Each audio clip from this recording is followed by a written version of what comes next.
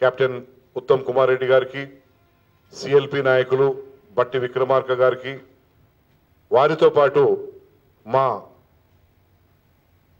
పంతొమ్మిది మంది అంటే పదిహేడు మంది ఎమ్మెల్యేలు వారందరికి కూడా నా ప్రపోజల్ ఫర్ నామినేషన్ పైన అట్లాగే సెకండింగ్ చేసినందుకు వారికి అందరికీ నా కృతజ్ఞతలు తెలియజేస్తున్నాను.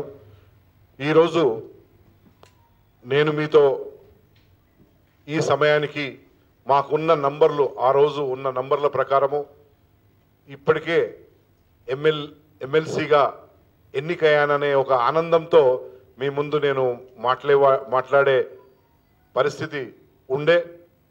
అది ఈరోజు లేదు. ఎందుకంటే రాజకీయ దురహంకారానికి రాజకీయ ఆకలికి గ్రీడ్ ఫర్ పవర్.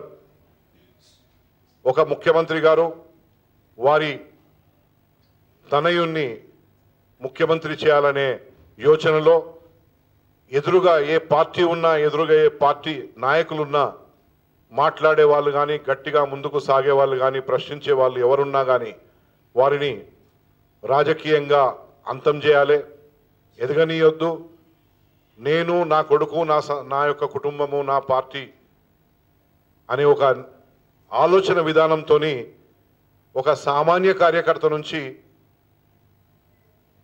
ఆయన ఒక తండ్రిగా ఎట్లాగైతే ఒక నా కొడుకు ఎదగాలి ఎదిగి రాష్ట్రాన్ని పరిపాలించాలనే ఒక ఆలోచనతో ముందుకు సాగుతున్నారో అదే ఆలోచన విధానాన్ని మా తల్లిదండ్రులు కూడా అదే కలలు కన్నారు. ఈరోజు నేను తండ్రి లేని వాణ్ణి. కానీ నా తల్లి ఉన్నది ఈరోజు డెబ్బై ఆరు సంవత్సరాల తల్లి. ఆమె